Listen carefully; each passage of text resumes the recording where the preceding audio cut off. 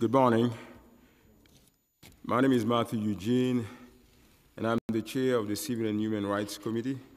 Today, our committee will be hearing proposed introductory bill number 1314A in relation to prohibiting discrimination based on one arrest record and other related matters.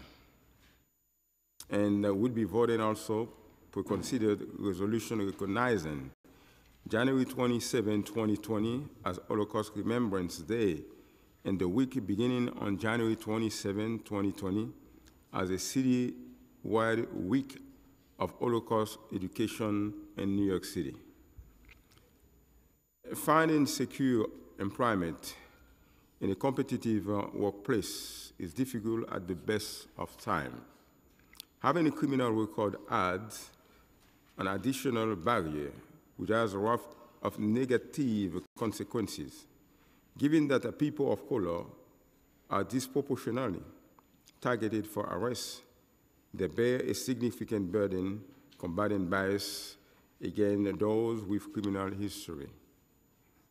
In 2015, the New York City Council mounted a significant effort to address this issue by enacting the Fair Chance Act. Under the legislation, New York City employees are prohibited from inquiring about a job application criminal history prior to making a conditional offer of employment. Similar ban the box laws, as they are commonly referred to, now exist in 35 states and 150 cities across the country, and New York City's law is still considered to be one of the strongest examples. While we are proud of the positive impact this law has brought, there remain some gaps, and we see an opportunity to improve and strengthen the existing law. Currently, no protections exist for those who are employed and face criminal accusations and convictions. Further, those who have a pending adjustment in contemplation of dismissal, non-pending arrests and criminal accusations, and those with youthful offenders educations are not included under the City Fair Chance Act.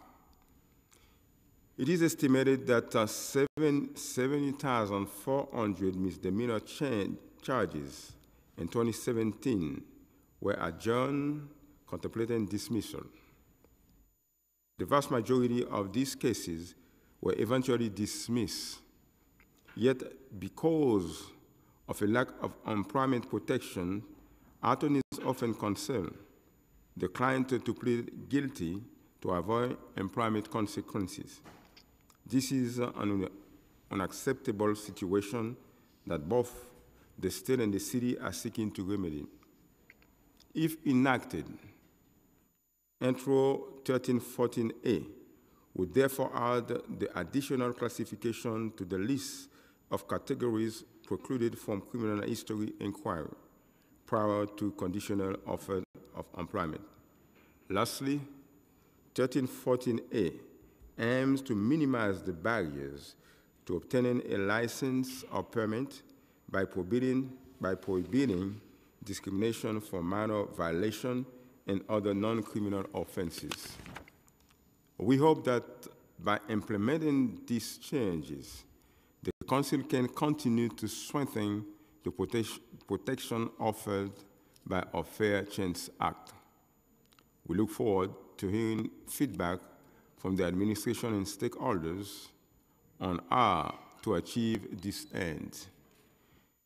We are also hearing and voting on a very important resolution to recognize Holocaust Remembrance Day. On November 1st, 2005, the United States General Assembly adopted a resolution to designate January 27 as International Day of Commemoration and memory of the victims of the Holocaust. This date represents the day that Auschwitz-Birkenau, one of the largest of the 40 concentration camps, that comprised the Auschwitz complex was finally liberated by assigning an International Day of Remembrance. The United States, uh, United Nations aims to reaffirm that the Holocaust, which resulted in a number of one third of the Jewish people, along with countless members of other minorities, will forever be a warning to all people of the danger of hatred, bigotry, racism, and prejudice. Before we begin, I would like to mention the council members uh, who are here. We have Council Member John and member of the committee, and also we have Council Member uh, Deutsch and Public Advocate uh, Jumaane Williams and both of them are, are sponsors of the different uh, legislation we're going to, one we're going to vote on and the other one we're going to have a hearing on. And I would like also to, to thank uh, the members of the committee, the people worked very hard to make this, uh, this uh, uh, public hearing possible. I want to uh, thank the committee staff also, Belki Mireg, Senior Counsel to the Committee, Leah Skripek, Policy Analyst, and Nevin Singh, Financial Analyst, as well as my staff, David uh, Suarez. Um,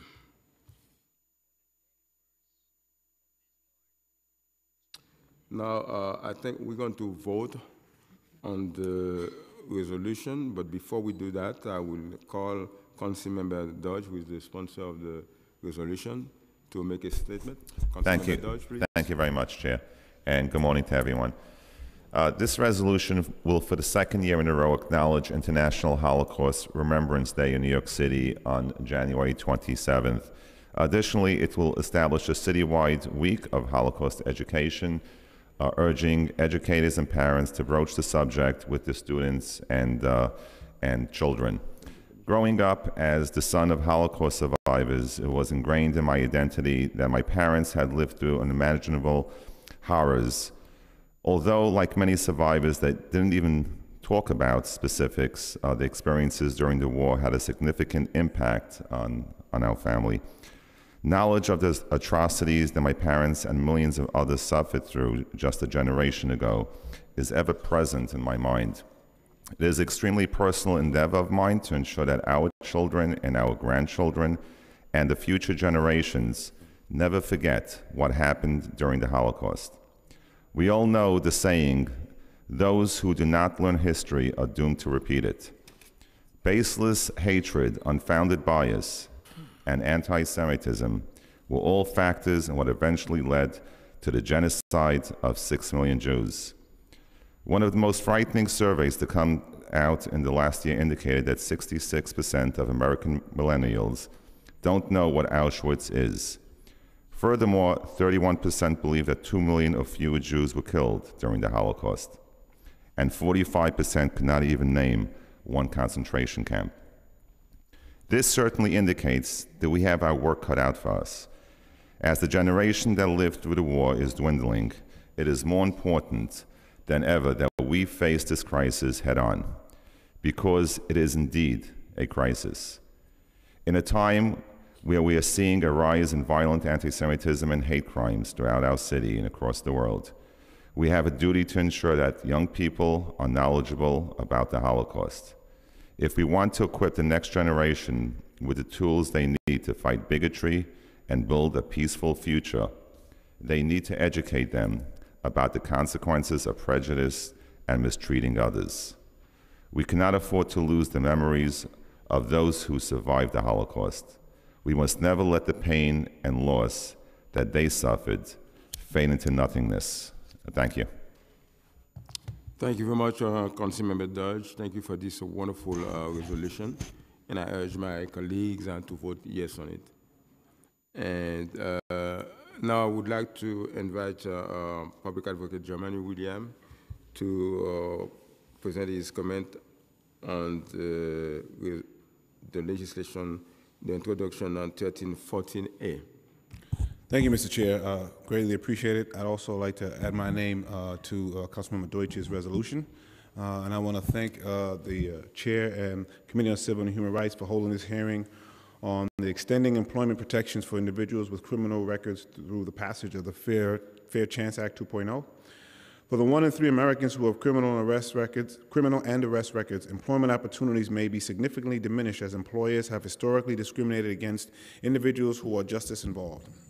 This is especially true for individuals of more color who have been the victims of mass incarceration and overcriminalization. To address this disparity, I'm proud to have worked with the City Council to pass the nation's strongest ban the box policy to ensure that New Yorkers with an arrest or conviction record would have an equal opportunity to compete for the jobs. This legislation has decreased employment discrimination and created new opportunities for those who have criminal records. It has been five years since the passage of the Fair Chance Act, and it is time we expand the protections we provide to individuals with criminal records by closing some loopholes. Currently, banning the box does not protect individuals who have pending adjournments in contemplation of dismissals, or ACDs, non pending arrests and criminal accusations, or unsealed violations such as loitering for the purposes of prostitution. The Fair Chance Act 2.0 prohibits the aforementioned violations of criminal charges from being considered during the hiring process, and it extends protections from the original Fair Chance Act to individuals who are currently employed. I urge members of the committee to extend the reach of the Fair Chance Act for those seeking employment in New York City. Let's reduce barriers for justice involved individuals and create more equitable employment opportunities for those with criminal records. Thank you very much for your time and consideration. And just to clarify, this just extends uh, protections for those areas covered. And once again, uh, it uh, lasts until they are all, someone is offered a conditional uh, offer of employment, and then the research uh, can begin and what it does is it allows someone to respond in case someone does not get a job solely on um, the uh, something that's justice involved. They can then respond to it, and it is now and had been before this illegal to discriminate against. Uh, but now we have a way to prove that discrimination. What often would happen uh, is people would give in their resumes and it would get thrown in the trash, and you'd have no way to prove that it was discrimination. Uh, there are some uh, caveats here if, if there is a crime that's closely linked uh, to the job you're applying for. Uh, there are you cannot force someone to hire uh, for that. There's protections uh, with sexual abuse, and this does not force anyone to hire anybody. Uh, all it does is provide an equitable and equal playing field for everyone. And uh, as was often predicted, but not happening since the five years has passed, the sky has not fallen. Thank you so much. Thank you very much, um, Public Advocate Jumaane Williams. Thank you very much. Now we have been joined by Council Member Ernest Brown. Thank you. I think now we can proceed to the votes. And I would like uh, to ask the clerk to call the roll, please. William Martin, Committee Clerk, roll call vote, Committee on Civil and Human Rights on preconsidered resolution. Chair Eugene. I vote aye. Barron. I vote aye. Dromm. Are we voting on the resolution? Yes. Only? Okay. I vote aye, and I want to thank Councilmember Deutsch for introducing this and for making sure that we do not forget the um, terrible, terrible um, tragedy and probably the worst hate crime ever committed, which was the Holocaust. Thank you. And we have been joined also, if you allow me, uh, Mr. Clerk, by Councilmember Parkin. We are voting in a, a resolution to declare uh, to uh, the Holocaust uh, Remembrance Day in New York City. Councilmember Perkins. We have voted four in the affirmative, zero in the negative, and no abstentions. Item has been adopted by the committee. Thank you, Mr. Clerk, and I want to take the opportunity also to thank you for your service and uh, no uh, uh, public hearing, or especially this public hearing, wouldn't be possible also without your service and your contribution. Thank you so much. Thank you. Now, I would like to call the first panel. I'm going to call, uh, oh, you are already here. Thank you very much. and I thank you for your participation, your presence, and everything that you are doing on behalf of the uh, New Yorkers. Thank you so much. We are with us, uh, Ms. Uh, uh Dana Sussman who is uh, the Deputy Commissioner and the New York City Human Rights uh, Commission. Thank you very much. And also Zoe Chenitz, I believe, policy, uh, senior policy counsel. You can, uh, will you please, uh, to the authorities? Do you swear or affirm to tell the truth before this committee and to answer council member questions honestly? Yes. Thank you. Good morning, Chair Eugene, uh, Public Advocate Williams, and members of the Committee on Civil and Human Rights. Thank you for convening today's hearing on Intro 1314A. I'm Dana Sussman, Deputy Commissioner for Policy and Intergovernmental Affairs at the New York City Commission on Human Rights. The Commission is proud to enforce one of the broadest and most protective laws prohibiting discrimination on the basis of one's involvement in the criminal legal system, the Fair Chance Act. And we are excited to be here today to discuss Intro 1314A, which would expand protections in meaningful and important ways for people currently employed or seeking employment and who have prior or current engagement with the criminal legal system. We think Intro 1314A is vital to continuing this important work, and we strongly support the bill. The Fair, Chance, the Fair Chance Act was signed into law in June 2015 and went into effect in October of that year. It was one of the first substantive changes to the New York City human rights law under Commissioner Carmelyn P. Malalis' tenure, and a groundbreaking shift in how employers must advertise, interview, and consider candidates for employment.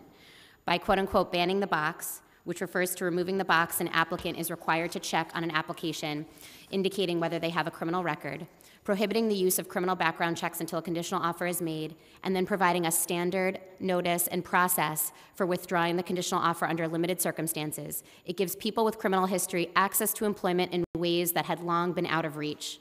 And the implementation of New York City's Fair Chance Act, or FCA, provides a case study in how the Commission, under Commissioner Malalis' leadership, undertook a comprehensive and multi-pronged approach that involved policy development and rulemaking, education and outreach, a public awareness campaign, and aggressive enforcement, including case resolutions that incorporate restorative justice principles. Leading up to the Fair Chance Act's effective date, the Commission published its second legal enforcement guidance, which provides clear and transparent information and examples as to how the Commission will enforce the FCA's protections, enumerating specific per se violations of the FCA, and published a template notice, for, a notice form for employers to use to share with applicants when undertaking the Fair Chance Act analysis. In addition, the Commission published fact sheets, a multilingual pamphlet, and frequently asked questions on its website that are responsive to questions the Commission receives from members of the public and employers. In 2017, the Commission, after notice and comment, promulgated rules codifying most of the legal enforcement guidance. The Fair Chance Act rules also established a new early resolution process in which the Commission's Law Enforcement Bureau, in its discretion, can issue fines pursuant to, uh, to a prescribed penalty schedule in an expedited manner where per se violations of the FCA are identified. This has allowed the Commission to manage its resources and build in efficiencies so that, so that the Commission can focus its efforts on high impact cases. The rules went into effect in August of 2017. To educate the public on this major expans expansion of legal protections, the Commission developed two Fair Chance Act focused workshops, which also covered prohibitions on, on obtaining and using applicants' credit history during the hiring process for two different audiences employers to understand their obligations, learn where to find resources, and obtain clear information on how to properly engage in the fair chance process, and one, for, and one workshop for job applicants, workers, and service providers who work with people with criminal legal involvement to understand their rights, how to report to the Commission, and what remedies are available to them. The Commission offered these workshops to community based organizations, business associations, houses of worship, and to sister agencies. The Commission also hosted these free workshops at its five borough based offices on a monthly or quarterly basis during the first three years after the law went into effect, and we continue to offer them regularly. Since 2015, the Commission has provided nearly 1,200 trainings on the Fair Chance Act across all five boroughs, including over 500 training on Rikers, trainings on, on Rikers, over 50 additional trainings in partnership with the, the Department of Correction, Probation, and NYCHA, and over 100 trainings to the New York State Department of Correction and the New York State Division of Parole. In total, the Commission has provided in person live training on the Fair Chance Act to 44,000 New Yorkers since its passage in 2015. The Commission has also prioritized outreach and education to business entities to ensure they have the information and tools they need to comply with the Fair Chance Act and other requirements under the City Human Rights Law.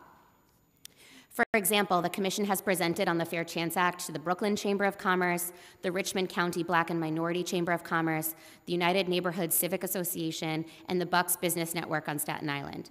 The Commission has also regularly presented to the Management Bar, the law firms that counsel large employers on compliance, and to various bar associations on this law and others. In addition, the Commission has educated millions of New Yorkers on their rights and obligations under the Fair Chance Act through a robust public outreach campaign that launched in late 2015 and included multilingual ads in subways, online, in newspapers, and on ethnic and community radio stations. The Commission's Law Enforcement Bureau has aggressively enforced the Fair Chance Act using a variety of, of investigatory tools and methods for maximum impact. Since 2015, the Commission has filed 456 complaints of criminal history discrimination, and as of, as of earlier this month, currently has 174 open matters related to the Fair Chance Act. The Commission has conducted a total of 832 tests related to the Fair Chance Act and filed a total of 69 Commission initiated complaints that were a result of testing. And I will note that many of the amazing staff of the Commission who do this work every day are here today um, at the hearing, um, so wanted to give them a shout out. The Commission's Law Enforcement Bureau has resolved cases with large employers, including, for example, City MD, Yelp, Mount Sinai Medical Systems, and CVS, ensuring maximum impact for New Yorkers, and in some instances has even negotiated resolutions that include a commitment to ban the box nationwide beyond what employers are legally obligated to do. In addition to major policy changes, trainings, and other affirmative relief, the Commission has ordered a total of, I'll, I'll narrow this up, um, over $1 million in damages and penalties since 2015, representing nearly $700,000 in damages directly to complainants that have been harmed by, by violations of the Fair Chance Act, and over 350,000 in civil penalties to the general fund of the City of New York. In other cases, the Commission, in its discretion, has not levied any penalties at all, where an employer agrees to take immediate action to correct a violation, undergo a training, and come into compliance. A few case summaries highlight the Law Enforcement Bureau's dedicated efforts to ensure widespread change, relief for victims of discrimination, and restoration for communities impacted by these practices. And I'll just highlight two cases in my testimony. In a case in which an individual sought a job as a custodian, the applicant identified that the application contained illegal questions about criminal history, and the applicant was unlawfully interrogated about his criminal history during his interview. Afterwards, he did not receive an offer for the position, and he filed a complaint with the Commission alleging criminal history discrimination and violations of the FCA. To resolve the case, respondent agreed to bring its employment practices in line with the city human rights law, train the company's managers, partner with certain reentry organizations to include their, their clients who have criminal histories in the job applicant pool moving forward, pay the complainant $35,000 in emotional distress damages and $7,000 in back pay, and pay a $20,000 civil penalty to the general fund of the City of New York. In another case, an applicant for employment with Yelp filed a complaint alleging that the company made an unlawful pre employment inquiry about his criminal conviction history in violation of the FCA and denied him employment based on that record. The Commission's Law Enforcement Bureau conducted an investigation and audited Yelp's employment policies. They found that Yelp had unlawfully run a background check on the complainant prior to making a conditional offer of employment and had unlawfully denied him employment based, um, because of a two year old misdemeanor conviction. Yelp, the complainant, and the commission entered into an agreement requiring the, the, the company to pay $20,000 in emotional distress damages to the complainant, a $10,000 civil penalty to the general fund of the City of New York, and engage in extensive affirmative relief, including training 800, training more than 800 New York City-based employees on the city human rights law, including the FCA, formally committing to ban the box at all of its offices nationwide, displaying the Commission's Notice of Rights and Fair Chance Act posters at conspicuous locations accessible to its New York City based employees, and revising and updating its internal policies regarding applicants with criminal conviction records. In particular, in an unprecedented move beyond the protections of the existing law, Yelp agreed to disregard entire classes of convictions and, and convictions over a certain number of years old when they um, are screening and hiring for, for employment. I will turn it over to my colleague Zoe Chenitz, Senior Policy Counsel, to discuss the key changes to the Fair Chance Act that Intro 1314A would codify. Thank you for convening today's hearing to discuss this incredibly important bill. The Commission is dedicated to using all the tools at our disposal to ensure that the Fair, Chan- Fair Chance Act fulfills its promise to reduce barriers to employment for people with involvement in the criminal legal system, and we hope to incorporate the additional protections afforded by 1314A into the agency's work and mandate. Thank you. Thank you very much. Good morning, Chair Eugene, Public Advocate Williams, and members of the Committee on Civil and Human Rights. Thank you for convening today's hearing on 1314A. I'm Zoe Chenitz, Senior Policy Counsel at the New York City Commission on Human Rights. As my colleague Dana Sussman highlighted in her testimony, New York City's Fair Chance Act has been a leading model across the nation in terms of promoting fair employment opportunities for people impacted by the criminal legal system, ensuring they have an opportunity to obtain, obtain employment based on their merit and qualifications, to support themselves and their families, and to contribute meaningfully to their communities. The Commission strongly supports Intro 1314-A, which will strengthen the Fair Chance Act in several important ways. I would like to focus on four key changes that the bill will make to the New York City human rights law. First, the bill provides new procedural protections for job applicants and current employees with pending criminal cases, meaning that employers may not arbitrarily take adverse action, such as denying or terminating employment, because of an arrest or open criminal case without first considering several factors related to whether the alleged wrongdoing is related to the job or would pose an unreasonable risk to people or property.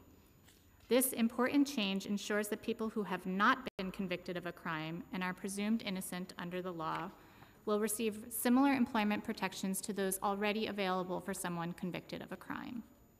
Specifically, the bill requires that before an employer takes an adverse action against an applicant or employee based on a pending case, they must, must first request information from the person and consider six relevant fair chance factors that are similar to those outlined in Article 23A, Section 753 of the correction law. The differences from Article 23A reflect the fact that, unlike old convictions, which may have occurred in the distant past, pending cases concern current interactions with the criminal system. With respect to pending cases, the relevant fair chance factors would include one, the city's policy objective for, of overcoming stigma toward and unnecessary exclusion of people with criminal justice involvement from licensing and employment. Two, the specific duties and responsibilities related to the person's employment. Three, the bearing of the alleged criminal offense on the person's fitness or ability to perform the duties and responsibilities of the job. Four, the seriousness of the alleged offense. Five, the legitimate interest of the employer in protecting property and the safety and welfare of specific people or the general public. And six, if the person is a current employee, any additional information they can pro- provide of rehabilitation or good conduct, including their history of positive job performance. Taking into account all of the relevant fair chance factors that I have just listed, the employer could take an adverse action only if they determine that there is a direct relationship between the job and the wrongdoing alleged in the pending case, or that granting or continuing the person's employment would involve an unreasonable risk to property or to the safety or welfare of specific people or the general public. As with the fair chance process that is already applicable to convictions, the employer will have to provide the applicant or employee with a copy of the criminal history information relied on by the employer and a written copy of the employer's analysis of the relevant fair chance factors, and then give the person time to respond, for example, with information about errors in the criminal history, faults in the employer's analysis, or with mitigating information. As with the existing protections for criminal history under the Fair Chance Act, these new protections based on pending cases would not apply to police officers, peace officers, or other positions at law enforcement agencies, or where the law imposes a mandatory forfeiture, disability, or bar to employment. In addition, the new protections for pending cases would not apply to public employees who are already eligible for procedural protections against arbitrary dismissals pursuant to Section 75 of the Civil Service Law or pursuant to agency rules or other law. The minority of public employees who are not eligible for such alternative protections and the majority of employees working in the private sector will gain protections under the proposed amendment to the Fair Chance Act. In the absence of employment protections for pending criminal cases, legally innocent people with pending criminal cases enjoy, paradoxically, less robust employment protections than people who have been convicted. As a result, people who wish to fight the criminal charges against them may risk greater job uncertainty while their case is open than they would if they plead guilty to quickly resolve their case. This bill would protect the rights of the accused and would help to mitigate collateral, collateral employment consequences, particularly for people of color and lesbian, gay, bisexual, transgender, and queer people who are disproportionately impacted by the criminal legal system. Second, the bill would add protections for employees impacted by the criminal system during their employment. Currently, the Fair Chance Act only protects current employees from adverse action based on convictions that occurred prior to the start of their employment. Under the proposed amendment, current employees would also have protections against adverse actions based on a pending case, as I described earlier, or a conviction that occurs during employment. As with convictions predating employment, employers would have to engage in an analysis similar to that which I described earlier. In short, an employer could take an adverse action only after considering the relevant fair chance factors and determining either that there is a direct relationship between the uh, alleged or convicted conduct and the job, or that continued employment would involve an unreasonable risk to the safety or welfare of people or property. The employer would also be required to provide the employee with a written copy of its fair chance analysis, along with the criminal history information on which the analysis was based, and give the employee a reasonable time to respond.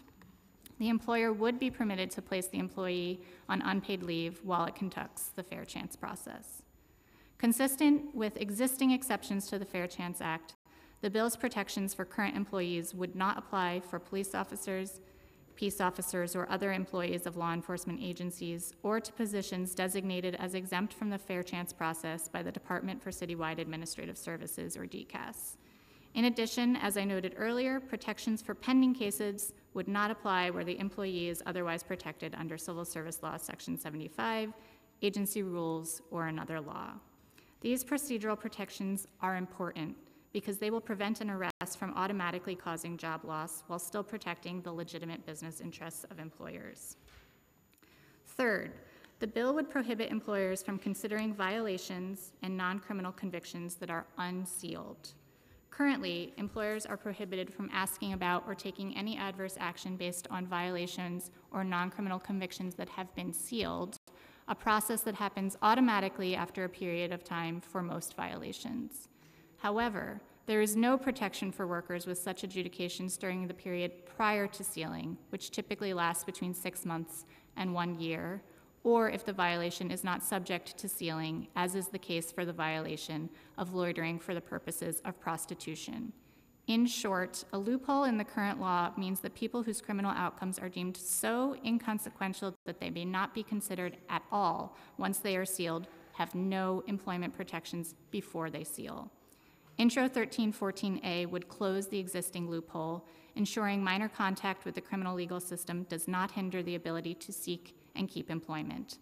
This amendment will be particularly impactful for people convicted of loitering for purposes of prostitution, a violation that critics have referred to as walking while tra- transgender because of the frequency with which it is used to disproportionately police transgender women of color, often criminalizing ordinary conduct such as standing on a street corner with one's friends.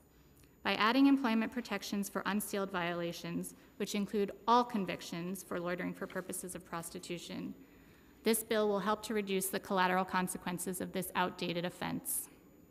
This bill will provide similar new protections in the area of licensing with respect to unsealed violations, non criminal offenses, and the underlying arrests that result in such outcomes. Fourth, the bill will provide procedural protections if an employer seeks to take adverse action based on perceived misrepresentations about a person's criminal history. If there is any perceived conflict between a person's self report of their criminal history and a background check, the employer can currently take adverse action without any further input or clarification from the person. That is troubling because background checks often include inaccurate or outdated information. In addition, employers may use insignificant conflicts between what a person has represented and what appears on the record as a pretextual basis to reject them from a job. This bill would require that before an employer takes adverse action based on a perceived misrepresentation, they first provide the person with the information that they believe demonstrates the misrepresentation and provide the person a reasonable time to respond. In other words, The bill will enable people to explain their situation before an employer unilaterally takes an adverse action based on their belief that the applicant has lied about their criminal history. This change will be particularly helpful to people with old and minor convictions who may be less likely to remember them. For all the reasons I have discussed, the Commission strongly supports Intro 1314-A, and we encourage the Council to move forward with its passage. We are grateful to the Public Advocate for sponsoring this legislation and to Council for taking up the issue. I look forward to your questions. Thank you very much. uh,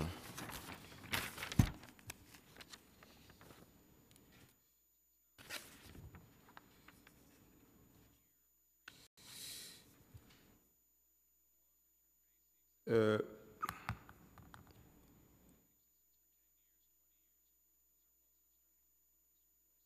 How many, my first question would be, how many complaint or inquiries does the commission typically hear regarding discrimination based on someone's criminal record?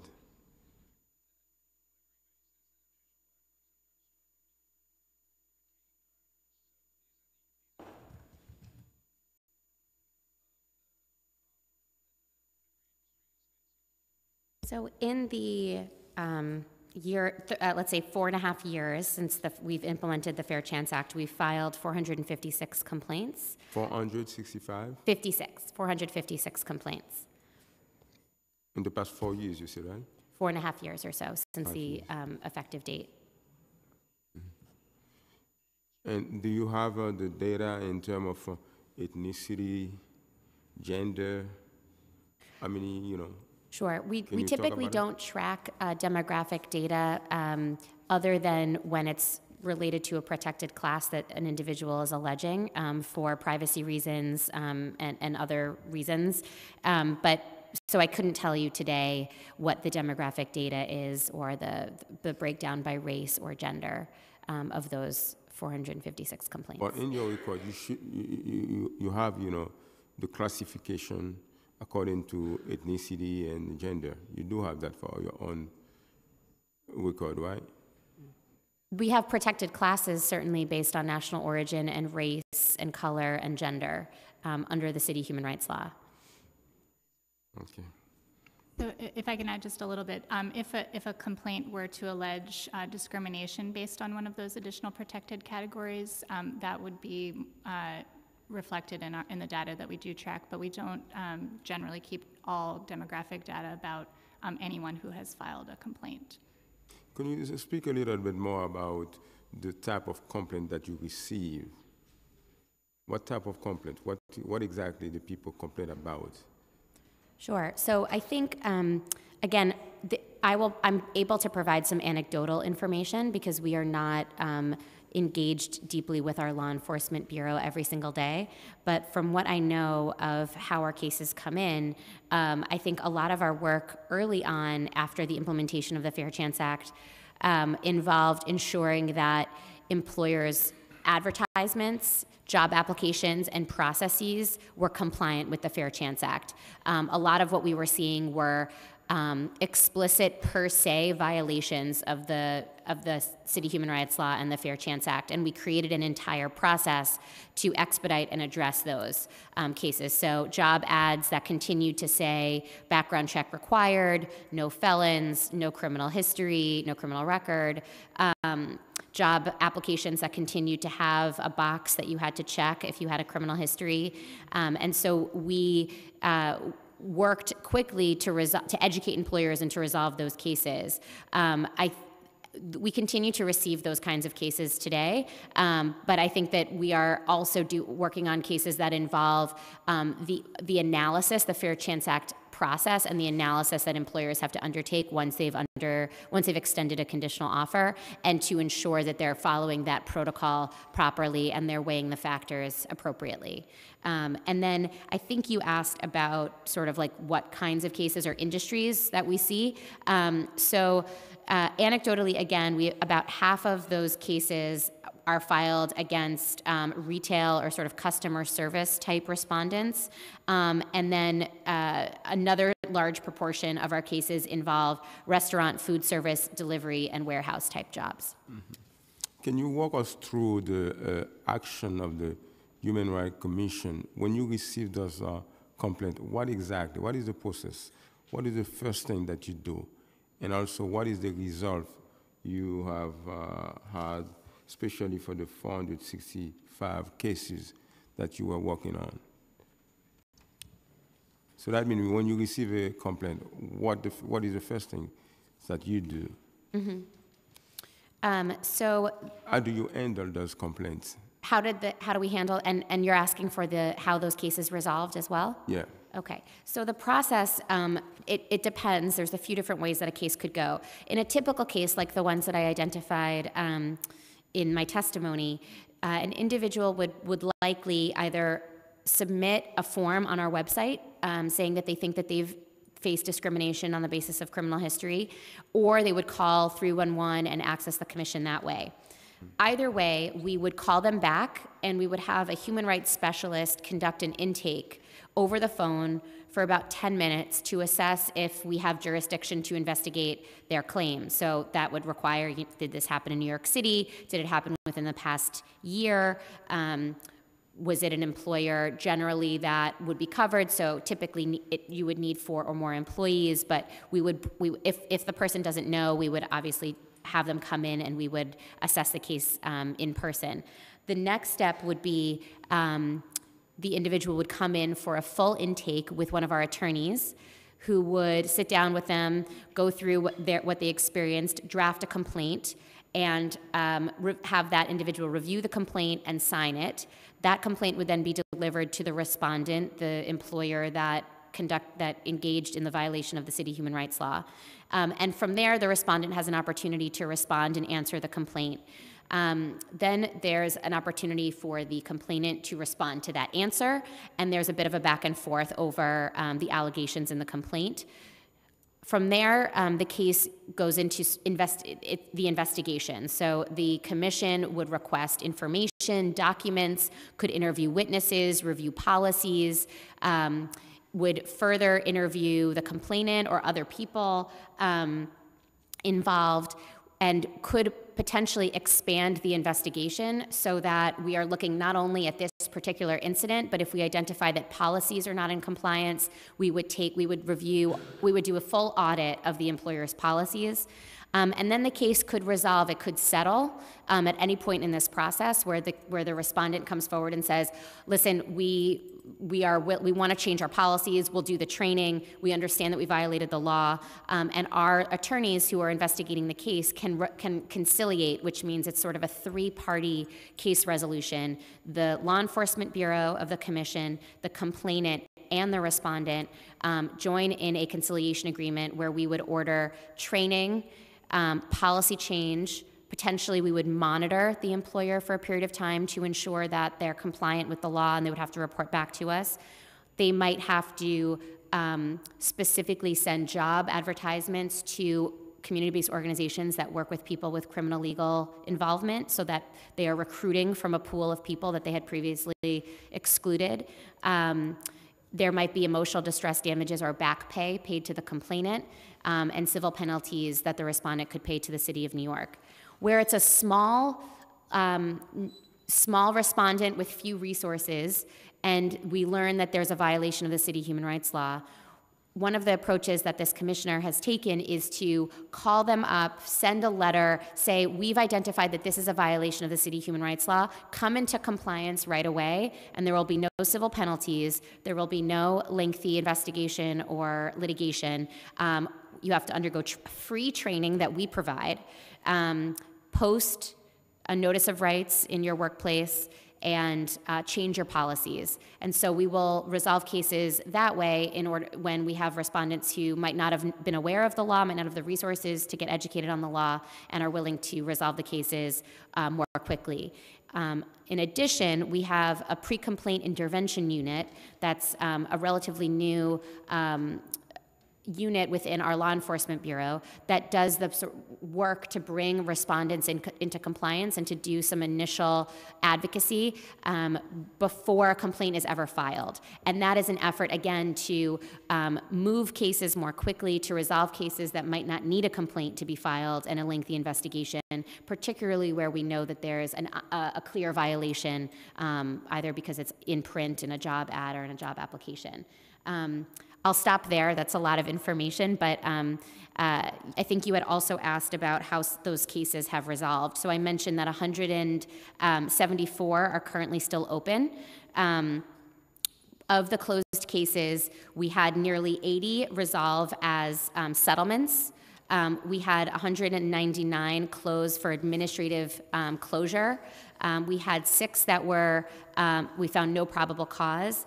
Uh, we had one withdrawal, um, which an, a, a party, a complainant can withdraw at any moment. Um, and so I believe those are where those 456 cases currently resolve. And then the one other thing I'll add is that we've intervened in 47 matters successfully in a pre-complaint posture, um, which means that we were able to resolve the matter without ever filing a complaint. Thank, thank you very much. Uh, you said that there, there, there are still 100, uh, uh, if I'm wrong, please uh, give me the exact number. There are approximately 174 cases still open. So why those cases are open? So those cases involve complaints that could have been filed last month or six months ago. Um, so those in, those could be cases. Those are probably likely to be the more recent cases that remain open. It's not that 456 cases were filed on the effective date in 2015, and some of those still remain open. This is sort of a rolling process, so people can walk in to the commission today and file a case, and so that would count as one of our open cases.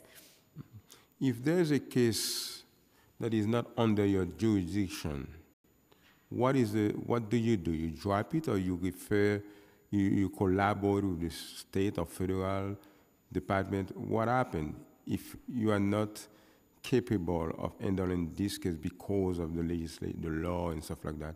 What is the next step? What do you do with that case? Um, So typically, um, the- you know, New York State has had longstanding protections um, under New York State law and expanded their protections uh, last year. So we can refer cases to our counterparts um, within New York State government um, to take up cases. And we also, if there are, uh, if, if the juris, if our jurisdiction is limited because of a statute of limitations issue, um, and the individual may have a claim that they could pursue in state court, we often refer cases to uh, legal service providers who are experts in this area of the law, um, who could represent the individual in a potentially in a state court proceeding. Um, so we do refer. We have an extensive referral network. Um, where our, our info line staff and our um, frontline attorneys are referring cases to partner organizations um, if, they, if we don't have jurisdiction to investigate them. When you refer the cases to your partner organizations, let's say in the state, is there any follow-up to find out what is the result, what is the outcome of the work that the state is doing? I, we don't have a formalized process for learning how cases resolve um, when we've referred them. Informally, though, we have pretty direct lines of communication to many of our uh, community based uh, service providers and legal service providers so that we kind of have an ongoing feedback loop around the cases that we are investigating, the cases that they have, how the case law is developing, um, opportunities to work together. Um, you know, a lot of that has informed our work and our and our thinking around the, these new this new proposed amendment. Um, so we don't have a formalized process of in, of learning where the how the cases resolve, but we are in regular communication with a lot of our a lot of the key stakeholders on this specific issue. We know that, you know, in New York City, it is very difficult for people, especially hardworking people, immigrant people, or anybody, even the person is educated or aware of the system. Some of the time, depending on the case, it's very difficult to navigate through the system and- get the, the result that the person is looking for. I'm talking about in New York City. So that means in the state, it can be more difficult for somebody who's living in New York City, somebody who doesn't have a clue how to handle cases with the state of New York. Do you have in place something to continue to assist that person, to reach out to that person, say, hey, how is your case? Did the state contact you? What is the issue? Is there something that I can assist you with? Do you do that usually, or you just the communication with the, the person who, who uh, bring the complaint to you just stop when you refer the, the, the, the, the, the person to the state, what happened? I- I'm talking about your communication, the communication, communication of the, the New York City Commission of, with these uh, New Yorkers who is uh, looking for a result, for, for some assistance. What type of assistance that you continue to provide to that person who is dealing now with the state? Um, So I- think our ability to continue to follow up with individuals who have cases that potentially are pending at other agencies is challenging for us. We have limited resources and, and an ever-expanding mandate. Um, But I think, and, and I also would flag that we can't um, we don't share information about the status of our investigations with people who are not representing, formally representing as the attorney, um, parties to a case. So if someone from the state, for example, were to ask me what the status of a case is that we that they referred to us, we wouldn't really be able to share that information um, because we don't share information about open investigations. Um, so they would, I, I imagine, likely do the same. Um, and while we we continue to prioritize the cases that are coming directly to us to ensure that we are getting back to people quickly, we are processing and moving cases quickly and investigating cases thoroughly. So we do not, as far as I'm aware, um, have a, again a formalized process of checking in on how cases have moved through um, other agencies. However, I will say that we have good partnerships with our counterparts at the state level, um, and so if there is ever someone who may reach out, reach back out to us and say, "I know you referred me to, you know, this the state division, and they haven't gotten back to me," um, we will absolutely um, move through the process and make sure that they're getting um, connected to the right people. Uh, The only thing I wanted to add to what my colleague has said is that, um, particularly with the uh, prospective passage of this bill, uh, New York City will have the most extensive jurisdiction for protections for folks with criminal system involvement. Um, So it's very unlikely that, at least for folks who live within New York City, um, that we would have the need to refer them out to the State Division on Human Rights. Um, So the limitations would be jurisdictional to, to, for example, whether you are in New York City or outside the statute of limitations, which my understanding is comparable for the state um, and for the city. I do understand what you said, but what I'm trying to understand is that somebody in, in New York, uh, somebody who's living in New York, and the Human Rights Commission from New York City is the organization, you know, normally that should provide to New Yorkers assistance in trying to resolve the discrimination case or any type of challenges that they are facing in terms of discrimination for jobs because of the criminal background, right? So you mentioned that you refer those people in case they are not under your jurisdiction. I do understand that you refer them to the state, but I know that it is not easy for somebody who is living in New York City to deal with the state. It's very difficult. So uh, uh, you are not trying to interfere in the, you know, the, the, the, the, the, system of the state. This is not what I'm saying.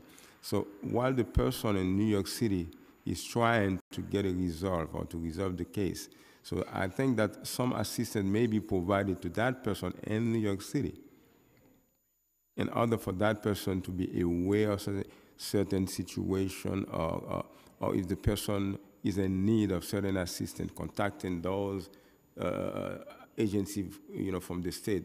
Because, you know, bureaucracy is very, very a big challenge for many people. The other thing I want to mention also is I believe that when you refer somebody to the state, you don't refer that person to any organization. I believe that you refer that person to a governmental institution also that are entitled, that has the right to handle these type of cases.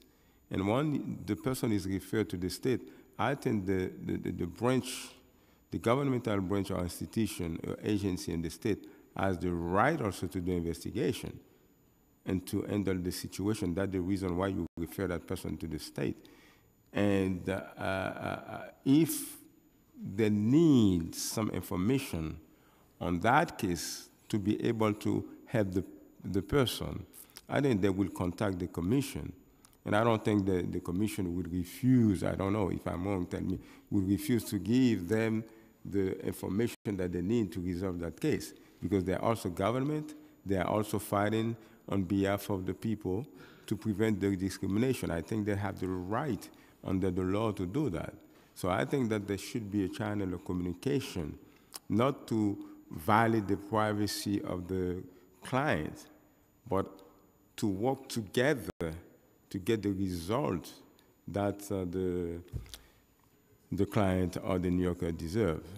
So when you say that uh, you, can, you won't release or you cannot release information about that person, I don't understand that because I think that the referral should go to official government institutions that are under the law habilitated to resolve or to handle these type of cases.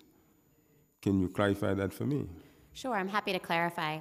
We can, and we do, work with our partner agencies, both at the city level and at the state level, to accept cases and to refer cases.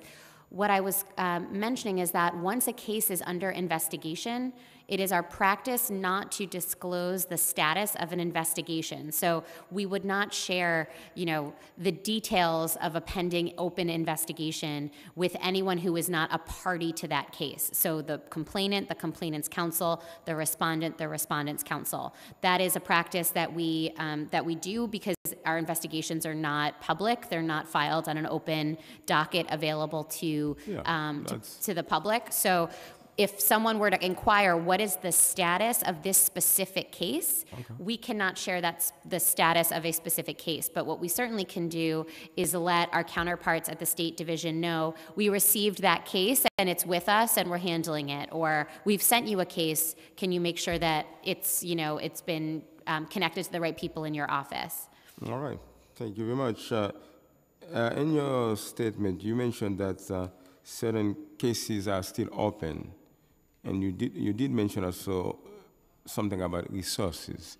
You have certain challenges, and because of the resources, probably you are not uh, in the position to close all those cases or to handle all those cases. And I'm going back also to my question and the question of my colleagues from the previous uh, uh, public hearing. Do you have enough resources? Does the commission have enough resources to handle all those cases and to do the job that they want to do? I know that it is not easy, and I mentioned that to the mayor during the uh, budget uh, uh, presentation briefing. I think it was last week. I do believe that you may need some more funding. Let me put it very straight because this is a lot of work and we have more work than before. Because of the outreach that the commission, I, I commend you for that and I thank you for that. You are doing a lot of outreach. I've been in certain uh, events and I see you are trying to reach out to people to inform them about their right and their obligation. That's wonderful. But when you do that, that increases the number of people who are going to reach out to you. And that's when you're going to have more work to do. You cannot do the additional work with the same resources. So you don't have to answer me now because I tried several times, I never get an answer. But I will come back with that answer at the time of the budget hearing. I do believe that uh, when we talk about the open cases and all the challenges that you are facing, I think the resources should be uh, uh, uh, taken consideration also. You don't have to answer me now, but if you want, could you tell me if uh, among the challenges that you, you're facing to resolve those cases or to close those cases, is the resources or funding is part of it? Um, You're familiar with our answers to these questions. Um, Certainly, I I will, I will emphasize that we um, are enforcing an ever-expanding law, um, which we welcome. We welcome, um, the- we welcome this expansion of the Fair Chance Act. We think it's incredibly important. Um, With these expanding protections, you know, as New York City is often on the front line uh, and and one of the first in the nation to expand protections in- in new areas, um, there comes um, additional cases um, and additional, frankly, responsibility for us to educate people about what their rights are and to educate uh, resp- uh, potential respondents about what their obligations are under the city human rights law. So that is always a challenge as we implement new protections. We want to do them justice and do New Yorkers justice so that they know what their rights and their obligations are. Um, on this specifically, we have a really good foundation on which to build. Um, our Fair Chance Act implementation is one of, I, as I mentioned in, our testi- in the testimony, sort of a, standard bearer for us as to how uh, committed the commission was and continues to be to implement the protections of the Fair Chance Act. And so we've we've issued legal enforcement guidance. We underwent rulemaking. We we um, created new staff positions and brought in experts on the Fair Chance Act and experts with people working with um, people with criminal um, legal involvement. Um, and so we think we're in a good position to incorporate these new protections. It will take a lot of work and a lot of resources, but we're, we're committing, um, you know, on the record to put those resources, um, the existing resources that we have, to um, effectively implement uh, implement this these new protections if they were to pass. And thank you. I'm going to call on my colleagues uh, to, for some questions, but before that, let me ask you one more question. You mentioned that you know certain cases have been resolved. Could you tell us how long those cases uh, uh, took to be resolved? How it, yeah.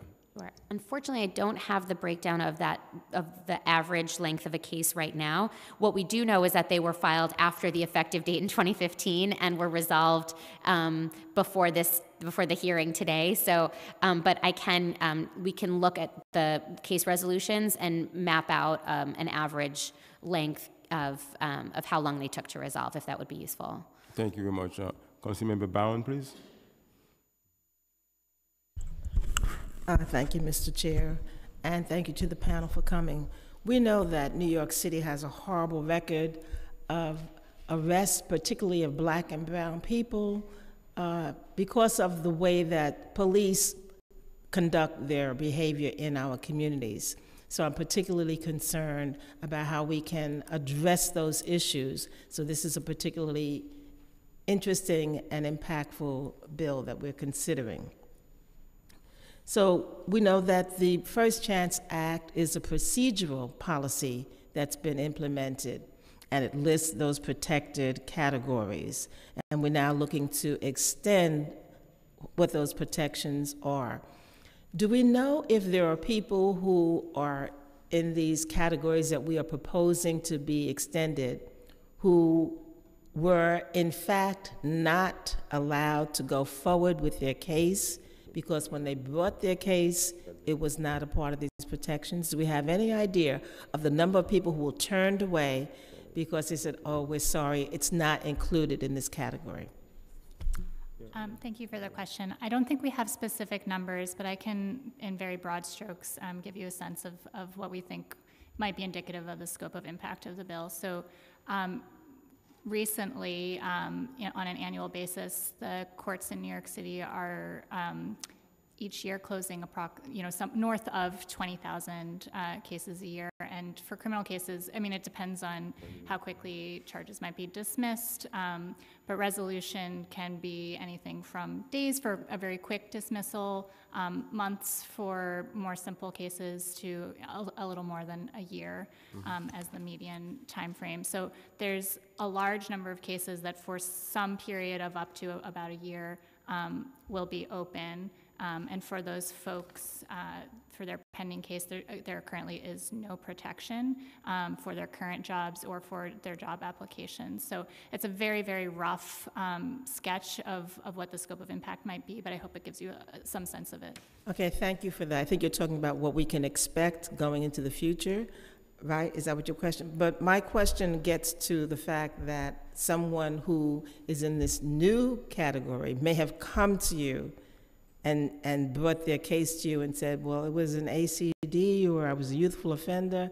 Do we have any idea of what that number might be? Yeah, again, I don't have specifics on, on how many folks have in the past been turned away, but I can tell you that the uh, impetus for filling in all of these loopholes is um, reflective of the experience of our law enforcement Okay. bureau and of advocates that we have existing relationships with in terms of what their clients or the members of the public who are coming to us um, with cases that we couldn't adequately address or the law didn't adequately address. Um, If I could add just one little clarifying um, point, I did just want to speak to um, adjournments in contemplation of dismissal, or ACDs as you referred to. Um, So those actually are uh, now covered under the city human rights law, and that is because of the fact that the city has incorporated by reference um, into a provision of the law uh, state protections, and um, effective as of July 11th last year, um, there was an amendment to the state law that we incorporate um, that did add protections for ACDs. So a very, uh, I think the original version of the bill that was introduced by the public advocate um, did speak directly to ACDs, but in the interim, in the time um, from when it was introduced to this hearing, um, those protections have already been added to the law, which is very significant. And, and what are the qualifications of the persons who are conducting the investigations or coming to the resolutions? What are their qualifications? Um, at our staff at the Law Enforcement Bureau. Um, so, uh, uh, most of our investigations are conducted by attorneys. Um, so they are civil service title attorneys who um, we really prioritize hiring people who speak languages that the you know community members speak so that we speak now over 30 languages at the commission. I think we're creeping up to about 35 languages at the commission. Um, we prioritize hiring people who have direct service um, experience so working at uh, as a public defender working at um, a legal services organization um, working in housing court um, in the employment bar representing workers um, in other contexts. Um, most of our attorneys come with a civil rights background, or if they don't have a professional background in civil rights, a real passion for civil and human rights. Um, and so they are uh, attorneys who um, we think are highly qualified and dedicated to doing this work. Um, we also have um, when we were implementing the Fair Chance Act in 2015, we actually hired um, uh, Paul Keefe, who's here uh, right over my shoulder, um, who was um, at Community Service Society and had been a key member of sort of the advocacy team that, that really fought for the Fair Chance Act over many years um, and has extensive uh, work history working with people um, with, with criminal legal involvement um, in the employment space. So those are some of the, the qualifications in broad strokes. Thank you. For those persons who um, aren't offered a job and take the job and then get on the job but still feel that they are not treated adequately or fairly based on what it was that their criminal history uh, record had been, what recourse do they have? And how do they know what to do, where to go? Um, so, so the, the law and, and this bill are drafted to address adverse actions in the broadest sense. So that can be things such as uh, failure to promote um, uh, or other or other conduct. Um, some of the procedure, procedural protections um, do sort of contemplate like a moment in time where the employer has learned about the, uh, for example, the pending case or, or the past conviction, and then they're considering a job application. Um, but again, there, there is room for addressing broadly adverse actions. And would you direct them to the appropriate office to file those complaints? How would they know where they can go?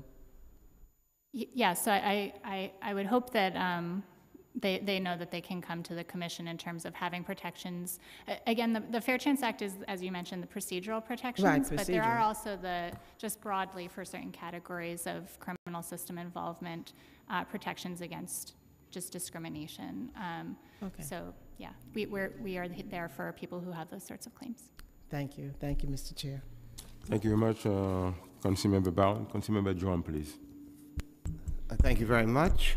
Um, You know, this issue um, is one that's of personal importance to me. When I was 16 years old, I was arrested for uh, loitering for the purposes of prostitution. Uh, That was 1972. Um, I was 16 years old, and um, I was caught in a car with another guy, and they ripped me out of the car. They pulled me into the precinct. They separated us. They kept coming in and out of the room and saying, you know, why were you with that guy? Why were you with that guy? And then one officer suggested that um, maybe I did it for money.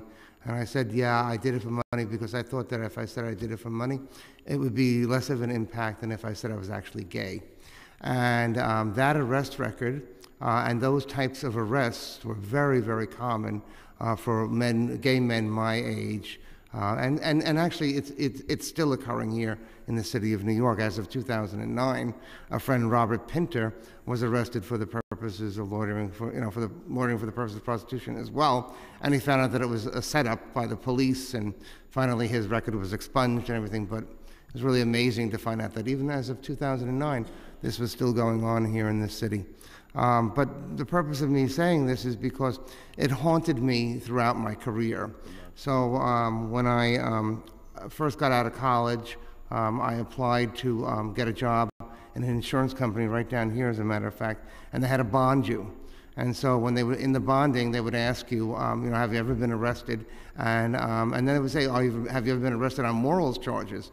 And I actually lied, and I said no because I was so afraid to answer yes. But I cut out at lunch, and I never went back to that job again. That was on the first day. So then I went, um, you know, to apply to the Department of Education for a job, and um, I didn't lie on the application, thank goodness. Um, but um, then I was called down by the Board of Examiners to, because they did the fingerprint check on me. And I had to sit and explain to three Board of Examiners people what the charges were about and why it happened. Uh, then, uh, when I was running for City Council, I had a daily news reporter um, try to track down the information. Um, and then I had to go on New York One News and explain the whole situation to them. So um, it's always been something that's been with me. And, and, and by, the, by the way, the case was never sealed as it should have been, um, you know, and it was never really handled properly. Uh, the attorney that we had, because we were very, very poor when I was younger, uh, did it pro bono, and I don't know if he ever did it right. And I don't even really fully 100% remember exactly what happened because of the age that I was at the time that it happened. Um, so it really can have an impact on people's lives. Fortunately for me, I kept fighting. And thank goodness I had a mother who was there with me, and she kept fighting it.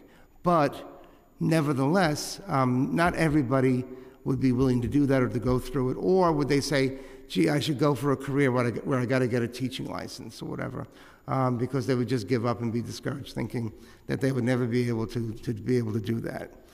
Um, so I think it's really important, especially as it relates to LGBT people not just transgender people, but LGBT people, especially men my age, because these charges were thrown around all the time.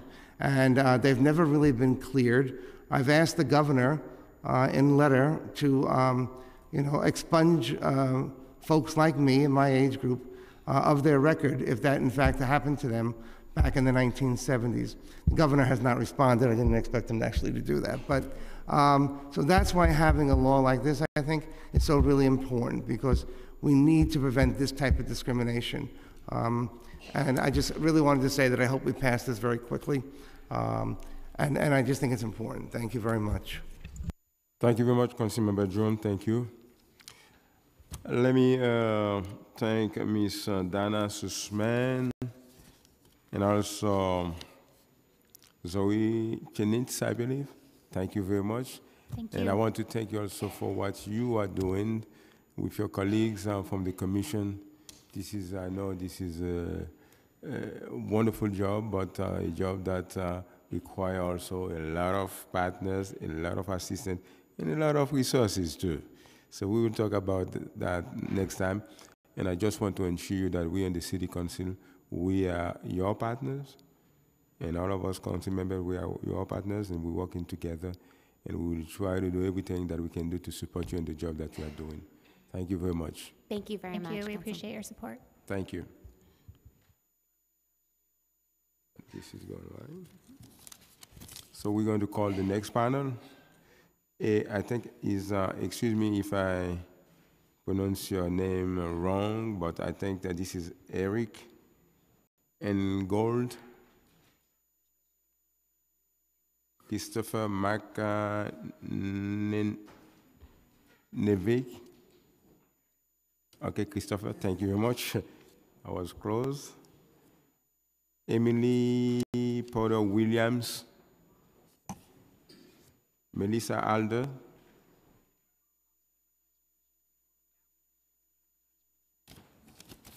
Thank you.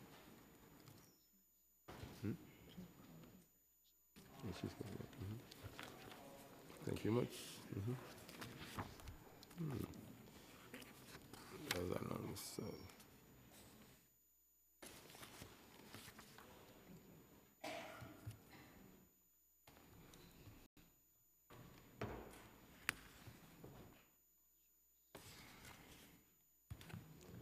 Those testimony are very long. Very long, the testimony. Gotta go to the public advocate and get back. Gotta go to the public advocate, uh, you know, even and come back over here for another. No, no, no. After this, to the public advocate, after the, come back another. I think, you- I don't remember what it is, but what I'm saying, should we limit them to two or three minutes? But you have to let the sergeant Yeah. that we're on the clock. Okay. I would do Two? two minutes is a bit short. No, I would do three. Thank you very much. Uh, you know, uh, I don't like to do that. For the sake of time, we will have to limit the your presentation for three minutes. Okay. Thank you very much. Now, uh, any one of you can start any time, but please state your name for the record.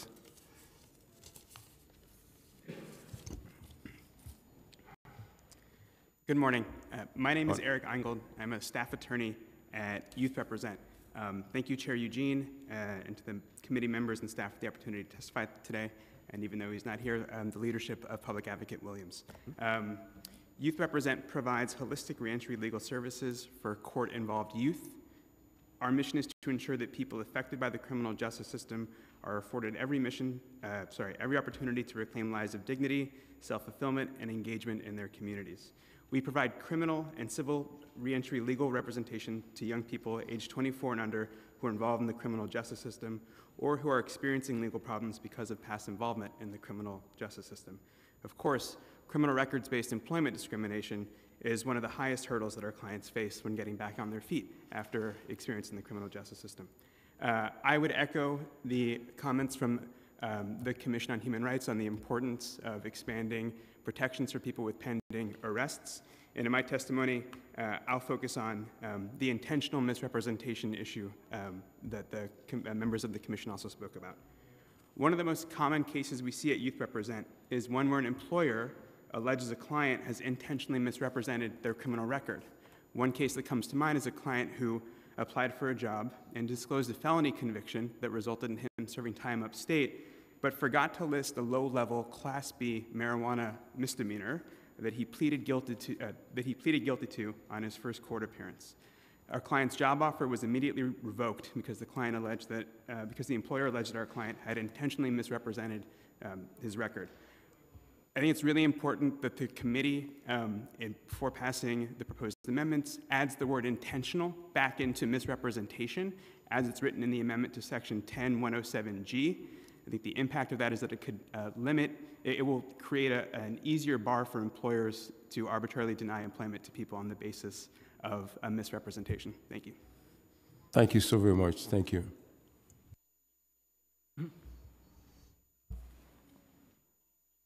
Uh, uh, Good morning. Um, My name is Christopher McNerney, and I'm an attorney with the law firm of Outten and Golden. Thank you to the committee for holding this hearing and for providing the opportunity to testify. For over a decade, Outten and Golden has been in the trenches, advocating on behalf of individuals unfairly denied employment because of their criminal history, and working to chip away at the steep barriers to reentry faced by individuals with records. Our firm has litigated numerous class actions brought under New York laws specifically protecting against discrimination on the basis of criminal history, and it's for that reason that we're submitting testimony today. I'd like to echo my colleague and skip to what we also view as one of the most important issues here the issue of intentional misrepresentation.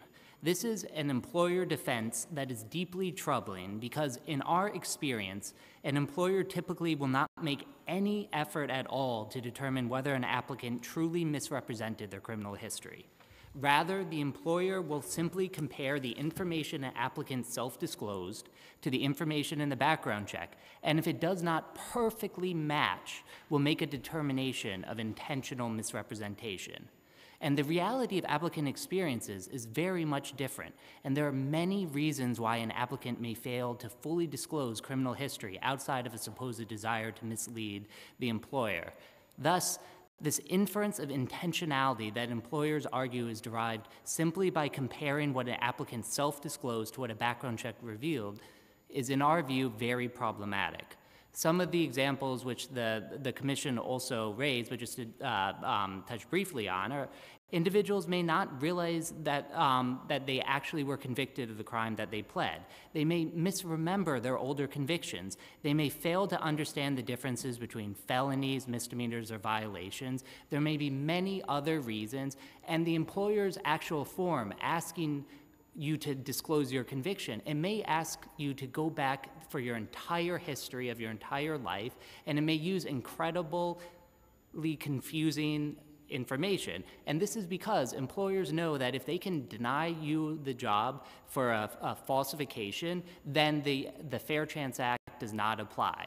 But if they actually do a fair evaluation, um, they have to actually go through the provisions of the Fair Chance Act. So I'd like to just finish by echoing my colleague by saying it's we view it as vital to put intentionality back into the, the provision. We also provided in our comments some other suggestions of how um, this, this important issue might be addressed. Thank you.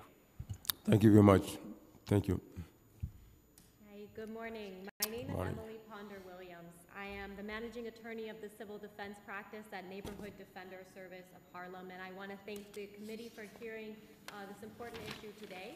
I also want to state that I agree um, wholeheartedly with the issues raised by my colleagues here, and I want to speak a little more specifically about the importance of extending protections in the current Fair Chance Act to those with pending criminal charges.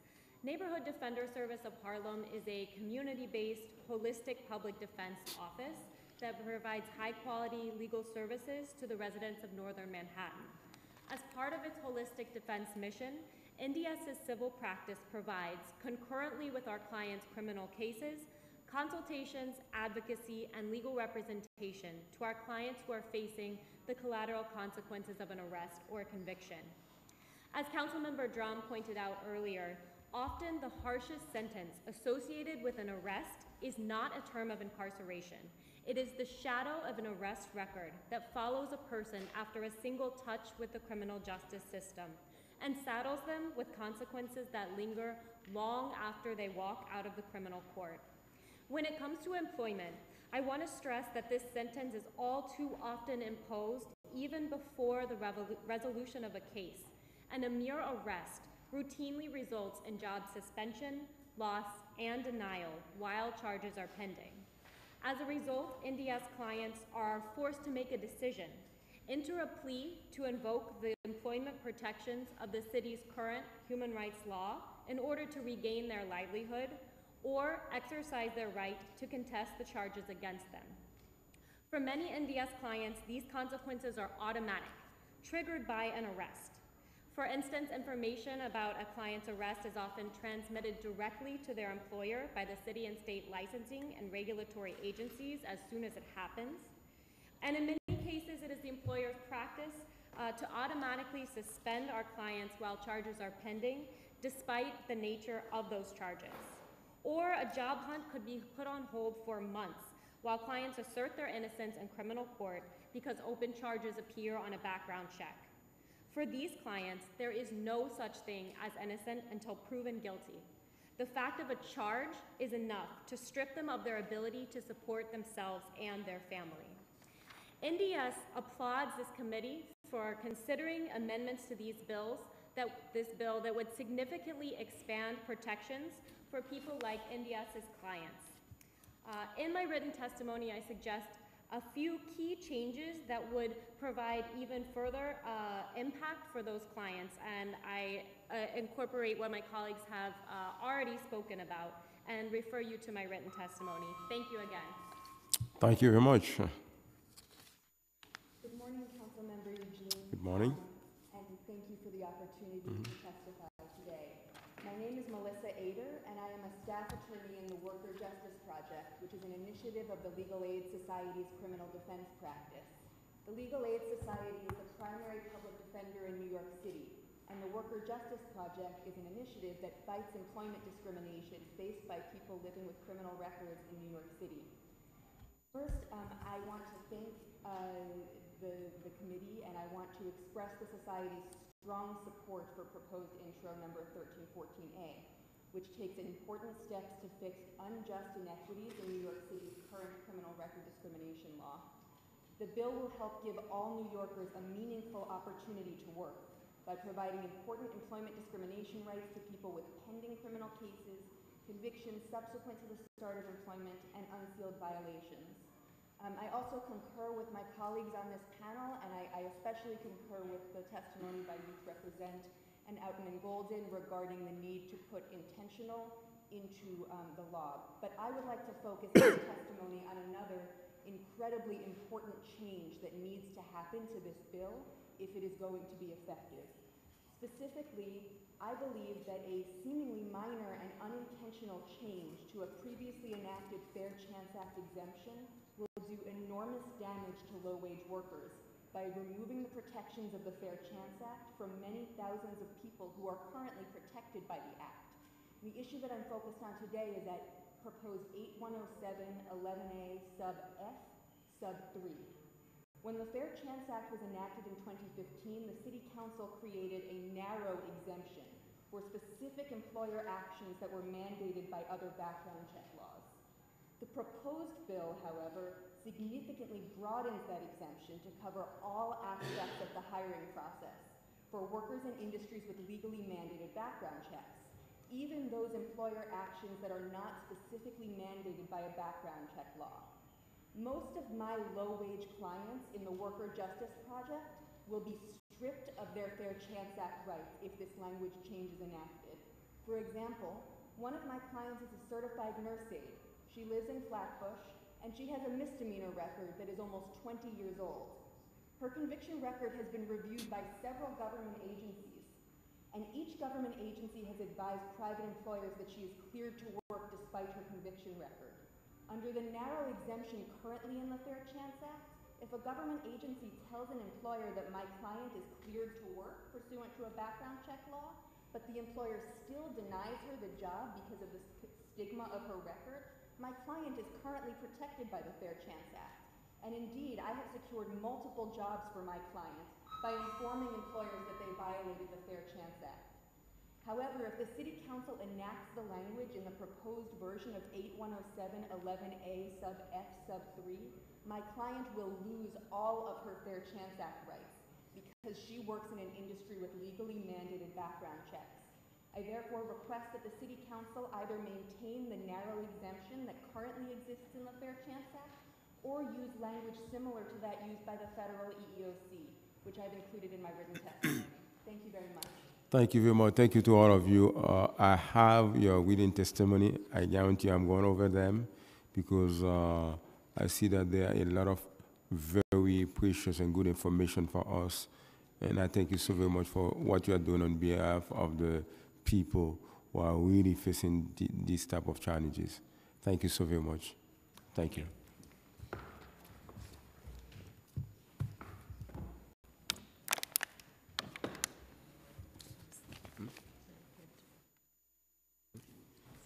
Yeah, very good, yes, great. Uh, now we are calling Sergio de la Parra or Pava. Thank you. Sheila Shida Means. Okay, thank you very much for your assistance. Esti Conor.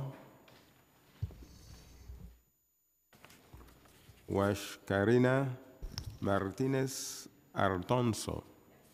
Thank you. Thank you.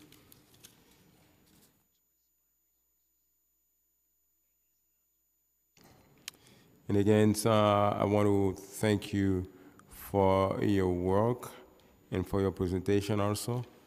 But for the sake of time, we will have to mm, uh, limit your presentation to three minutes. But I will read, we will go over your reading testimony. All right? Thank you so very much. Anyone can start. Please mention your name for the record. Um, Good afternoon. Uh, My name is Huascarina Martinez Alonso. This testimony is submitted on behalf of Legal Services of New York City. LSNYC welcomes the opportunity to provide commentary on this important addition to the legislation and is thankful um, for the invitation to make this submission. I'm going to uh, really summarize a lot of my points, but you have my written testimony before you. Um, LSNYC is an anti-poverty organization that seeks justice for low-income New Yorkers. As one of the principal law firms for low-income people in New York City, Manhattan Legal Services, my employer, is a constituent corporation of LSNYC. Um, recognizing the need uh, to close the employment gap for low-income New Yorkers, we created the Barriers to Employment Project to improve the job prospects of all New Yorkers. Um, we are here today to testify as to our experiences representing numerous clients um, with the goal to further expand access and opportunities for gainful employment. Um, uh, while we know that uh, current federal, state, and city laws have expansive protections with regard um, to people with criminal convictions, um, 1314A is um, an important expansion to the law. Um, Although the Fair Chance Act has increased many of our clients' ability to keep, um, to get and keep jobs, our clients are still facing discrimination and employment based on their criminal history, protecting applicants by adding limitations to inquiries regarding pending arrests, adjournment, um, ACDs, um, and pre-sealed violations um, will greatly um, improve outcomes for the workforce. In addition to clarifying the scope of the law, um, 1314A would also um, add steps to the Fair Chance Act process, requiring an employer to formally request an applicant's or an employee's information relating to the F- um, Fair Chance Act factors before um, an employer does their analysis. So in this way, it gives um, our clients two opportunities to put their best foot forth. Additionally, and it enables applicants and um, employees to better uh, be prepared to respond to the Fair Chance Act notice. In our experience, clients are very confused as to how to respond to these notices and often miss the very short time frame of three days to be able to answer. Given vulnerable New Yorkers' interactions with law enforcement, 1314 um, not only limits uh, criminal records discrimination, but also limits discrimination on the basis of race. Um, it's no secret that in New York City, Black and Latino people are disproportionately policed and therefore disproportionately disadvantaged in terms of seeking employment. Um, there's a bunch of statistics in my written testimony that I'll spare you about today. Um, although New York City has protections for people with criminal conviction histories and employment, not all New Yorkers who interact with law enforcement, law enforcement are protected under these laws, which is why we're here today. Understanding the racial ramifications of policing uh, and employment limitation on the basis of arrests um, are, and their um, beyond New Yorkers' ability to remain outside of the criminal justice system. Just because somebody wasn't convicted by law enforcement doesn't mean that they weren't convicted to poverty by their inability to get jobs. Black New Yorkers are still um, have the highest unemployment rate in New York City, and they're also disproportionately over police statistics are also, which are also presented in my written testimony. Um, in practice, the consequences of policing in New York City means that while unemployment rates have fallen, that's not the case for black um, men in New York City. Um, 1314 would continue to expand our present and future clients' abilities to meaningfully, oh, I'll just summarize briefly. Um, uh, Youth in our city are already disproportionately targeted by police, but today you can stop similarly disproportionately disenfranchising stigma of their experiences by enabling New Yorkers to further expand opportunities for, to acquire and preserve employment. Thank you for allowing us to present this testimony today. Thank you very much. Thank you. Good morning. My name is Estee Konor. I'm a senior staff attorney with the Community Service Society of New York, or CSS. The CSS Legal Department, along with our, ne- our Next Door project, provides legal services, advocacy, and rap sheet services to New Yorkers who have had contact with the criminal punishment system. I'd like to thank the committee for the opportunity to testify at today's hearing. Um, in my written testimony, I've provided detailed comments about CSS's support for Intro 1314, as well as a few issues um, that CSS is concerned about or some corrections that need to be made. I have detailed those um, in my written testimony, so during my oral testimony today, I'll highlight just a few issues that are particularly important to CSS and our clients. Uh, first, I would like to state that CSS strongly supports Intro 1314 in general. We strongly support the expansion, the expansion of employment protections being provided to New Yorkers who have had contact with the criminal punishment system, especially protections provided to New Yorkers who have a pending arrest at the time of application for employment, New Yorkers who have a pending arrest or conviction during their time of employment, as well as New Yorkers who have uh, cases that have been adjourned in contemplation of dismissal, cases that have been sealed, and cases uh, that have been adjudicated as a youthful offender case. So CSS generally strongly supports the legislation, but I would like to echo some of the concerns that were raised during the previous panel by my colleagues at other advocacy organizations. First, on the issue regarding applicant misrepresentations, uh, CSS wholeheartedly echoes the concerns raised by my colleagues that it is important that the legislation be amended or corrected. We believe that there was an inadvertent error that left the word intentional out of the legislation. So every place where the, use, where the term misrepresentation is used, the term intentional should be added. Um, in addition, I'd also like to address a concern that CSS has with the fair chance factors that are included in the, in the proposed legislation. CSS supports the proposed legislation's application of fair chance factors to situations not addressed by Correction Law Article 23A. But in situations where a pending arrest is involved, CSS suggests eliminating evidence of rehabilitation or good conduct as a, as a relevant fair chance factor. Our concern with this, our, our concern regarding this issue is that employ, employee submissions and discussions with employers regarding evidence of rehabilitation or good conduct could involve employees providing statements to their employers regarding their pending case, the circumstances surrounding their arrest, or their self perception of their own culpability in the relevant incident. That is problematic because it not only undermines the presumption of innocence afforded to individuals who have been accused of a crime, but it could result in employees making statements to their employers regarding their pending cases. So for that reason, we, we urge the council to be very cautious on this issue. On this issue, once again, thank you so much for the opportunity to testify, and thank you for your time. Thank you very much. Thank you. Thank you. Good morning. My name is Shelly Shimizu, and I'm a staff attorney in the Employment Law Unit at Brooklyn Defender Services.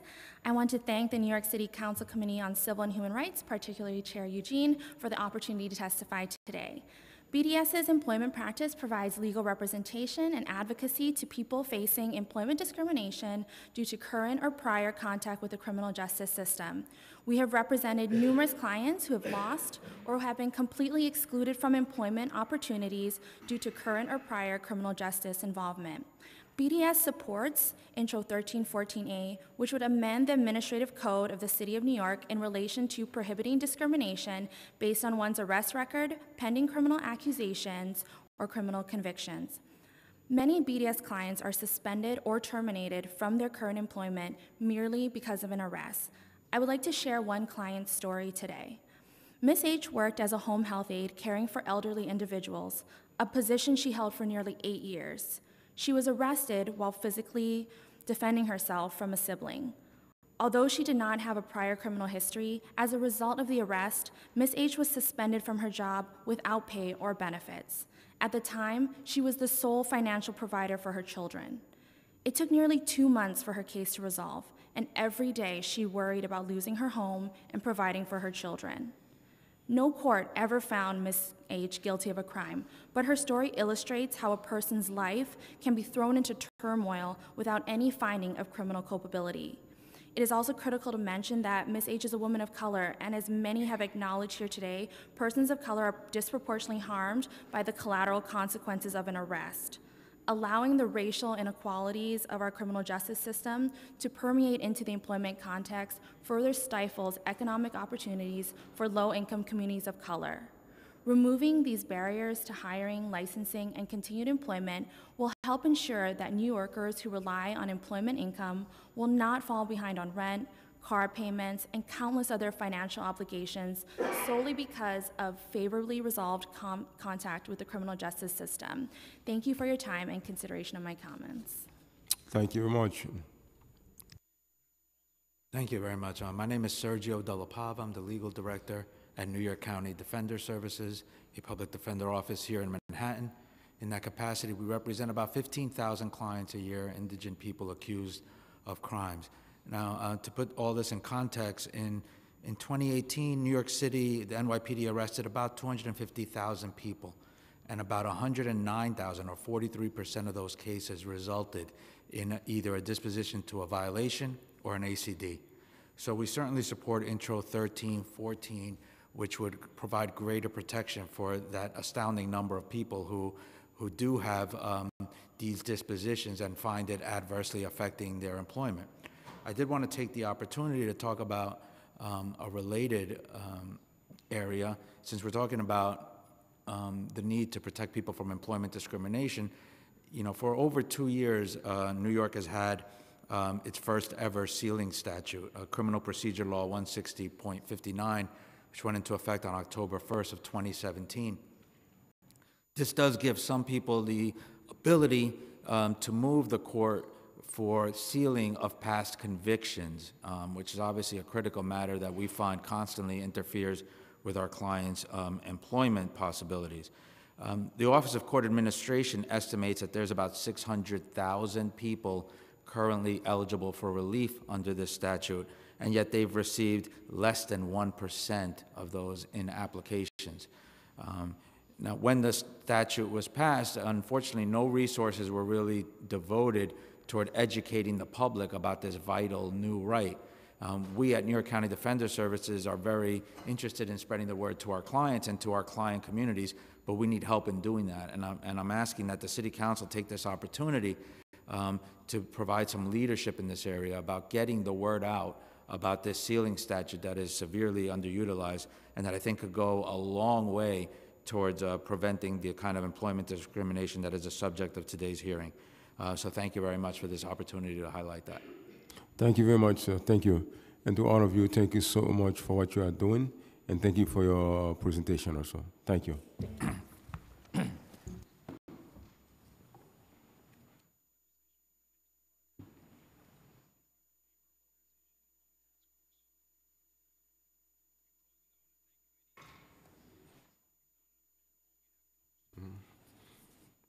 Now we are calling uh, Annie uh, Geneva. Annie, thank you very much. And Jared uh, Trujillo. Thank you very much.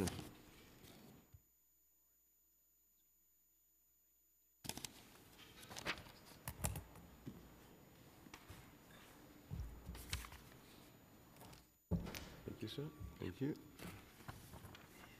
Thank you. Thank you.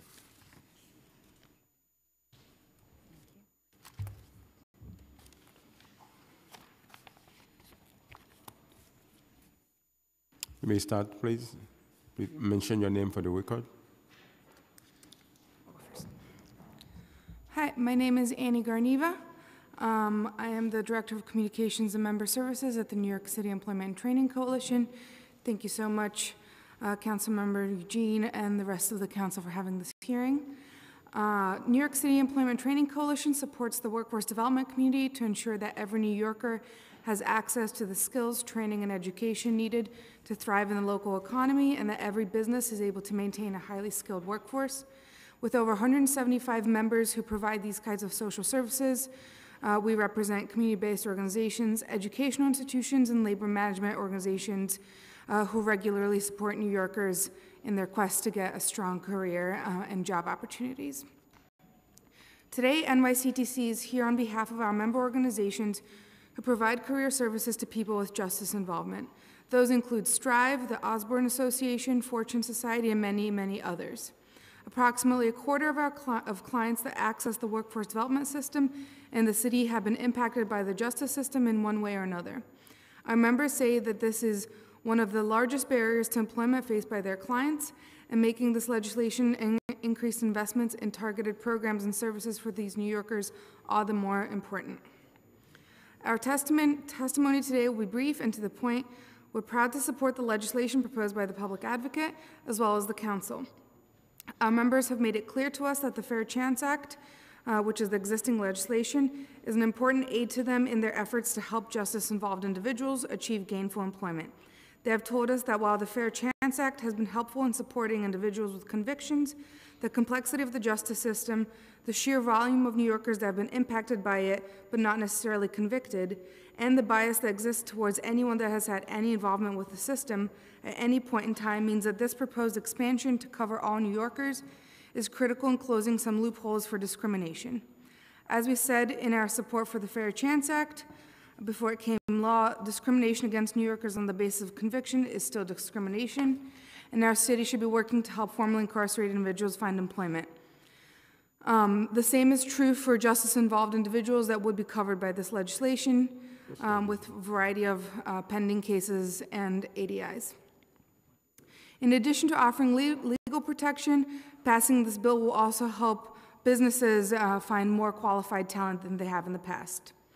Additionally, as several people have pointed out so far, based on our members' experience in supporting individuals with justice involvement, uh, we have found that the three-day window that people have referenced so far that um, was initially meant to be empowering to individuals, in fact, keeps them um, from accessing a lot of these jobs um, because oftentimes uh, individuals either do not have their documents ready to uh, hand over to an employer, um, so we suggest that either that window of time be expanded or support services uh, be grown to uh, organizations to be able to help individuals prepare their documents prior to that moment in time.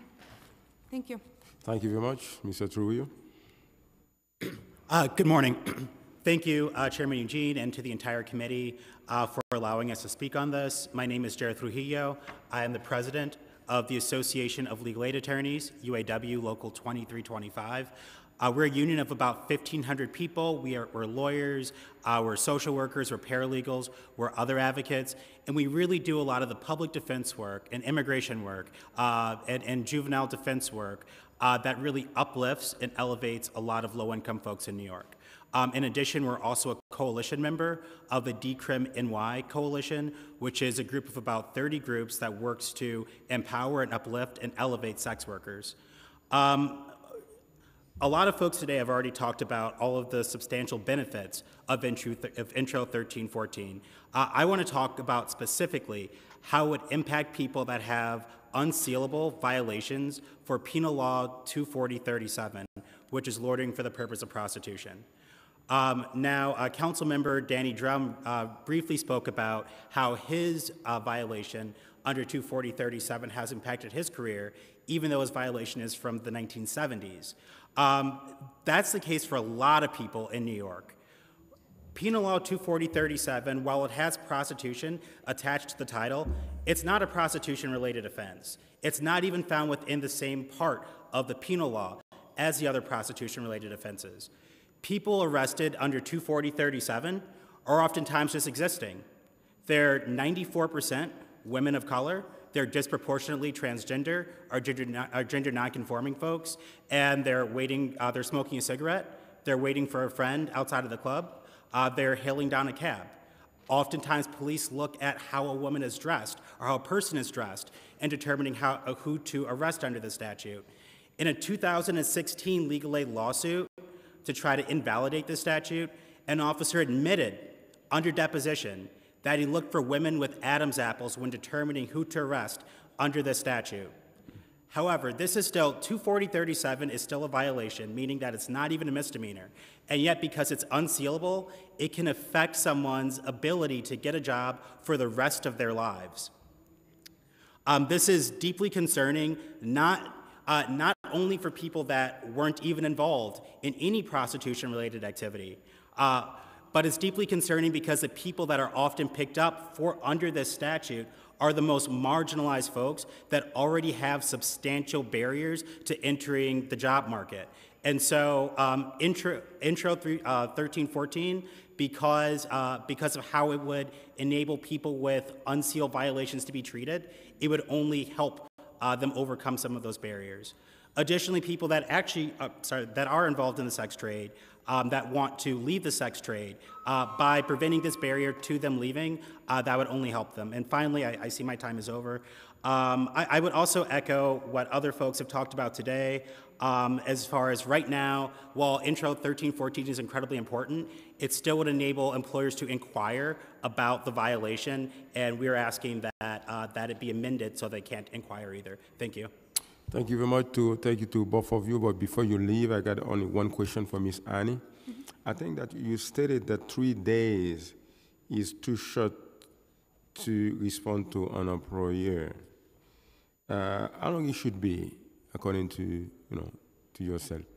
I, we have not discussed this with a member, so I don't know, but generally, three days, um, people don't even, it- it's, they have to gather several documents, so, um, I would say you should ask CBOs that have direct, uh, contact with individuals and for how, the Legal Aid Society has developed best practices to be able to, uh, prepare documents in advance. So I would not, I would not want to give a recommendation that isn't based on actual people on the ground who are having this experience. So we're happy to do that research for you, for sure. Thank you very much. Thank you to both of you. And thank you for what you're doing for the New Yorkers. Thank you. And to all of you here, thank you for your attendance. And thank you also for your interest on these uh, very, very important issues. And thank you for what you are doing through your organizations.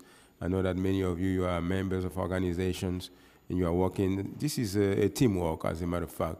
When we work on behalf of the New Yorkers, we should collaborate and unite and work together to make sure that we make New York City a better place for all. And I commend you for your work. Thank you very much. Have a nice day. God bless you. Thank you. With this, the meeting is adjourned.